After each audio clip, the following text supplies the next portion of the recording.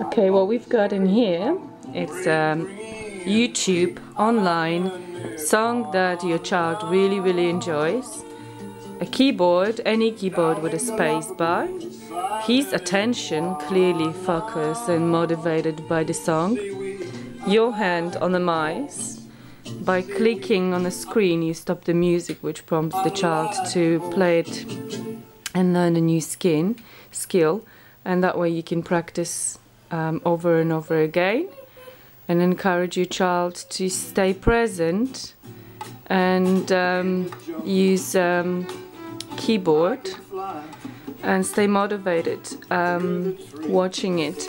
Now, um, what I also do is, um, for instance, my son likes grapes at the moment, so every time I stop the music and he plays, I say, well done, and I reward him with a grape which prepares him for when I'm gonna extend the game and ask him to do things which are more advanced and perhaps he's less motivated to do this.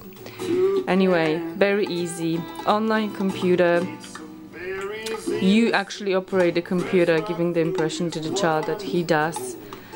Eye-hand coordination, learning what spacebar is used for, and then learning to respond to music stop, he plays the music.